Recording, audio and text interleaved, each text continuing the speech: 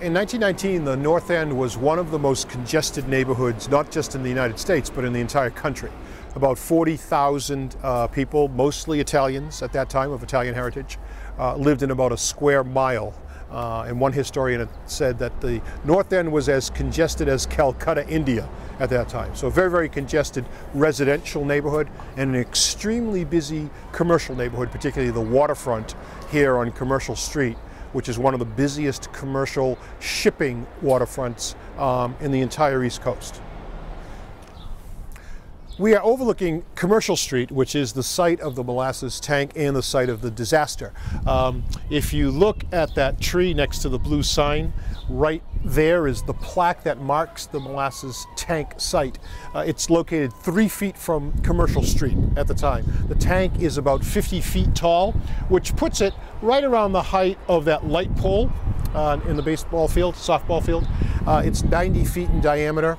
242 feet in circumference and it's able to hold 2.3 million gallons of molasses. When the tank disintegrates, when the tank collapses, most of the wave heads this way down Commercial Street, south towards Commercial Street. It destroys uh, the North End paving yard, DPW yard, lots of buildings right here, and the firehouse, which is located about 80 feet from the tank, approximately in left center field of the baseball field, softball field that we're looking at now. Uh, firefighters see the wave coming and are unable to get out of the way. The molasses travels at about 35 miles an hour at the outset, uh, about 35 foot, feet high at the outset, and the wave levels off to about 20 feet high and 160 feet wide. The, the molasses tank, which is located right here behind me, um, basically collapsed as a result of shoddy construction and poor materials. The steel that was delivered uh, to support the tank, to build the tank, was much thinner than original specifications called for. And when it was put together, it was put together with thousands of rivets, uh, and it was done in a very rushed manner, and it was not put together well at all. There was no inspection, there was no clerk of the works as we would know a clerk of the works today. Uh, the project was overseen by a person who had no technical experience, no architectural experience, and no engineering experience of any kind. And so it was rushed to completion in the fall of 1915 and began to leak almost immediately. Um, so there were structural problems from the beginning. Behind me is Commercial Street, where when the tank collapses, most of the molasses flows south on Commercial Street. It goes for probably about three quarters of a mile and completely obliterates everything in its path. Think of a tidal wave kind of thing. Um, it rolls up and collects debris, people, animals, horses, uh, anything you can imagine in its path. And it literally scours this waterfront area and turns almost everything from here to the next three quarters of, of, of a mile into kindling.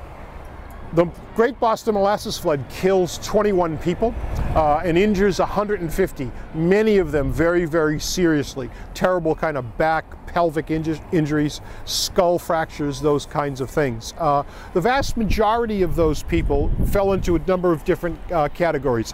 Firefighters, um, city workers who worked at the DPW yard right here, uh, stevedores and longshoremen who loaded the ships that pulled up into the inner harbor.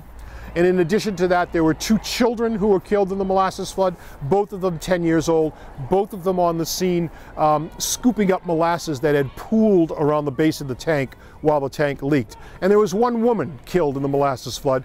Uh, she lived in a house directly across the street from the tank, and her house was destroyed by the wave. I think the Great Boston Molasses Flood is a forgotten piece of Boston history, or was a forgotten piece of Boston history before Dark Tide, for a number of reasons. I think a lot of reasons kind of come together. One is um, Boston really prides itself on big history, big name history. John Adams, John Hancock, John Kennedy, you name it. These were mostly very poor people, uh, Irish city workers, Italian immigrants who were killed. So there are no big names that are killed here. I think that was factor number one. Factor number two, I think, is the substance itself. Molasses um, often produces a little bit uh, of a giggle or, or, disbelief when you first hear about it. I think if this was fire or water or anything else, that would have been uh, much more public and much more of a big event at the time.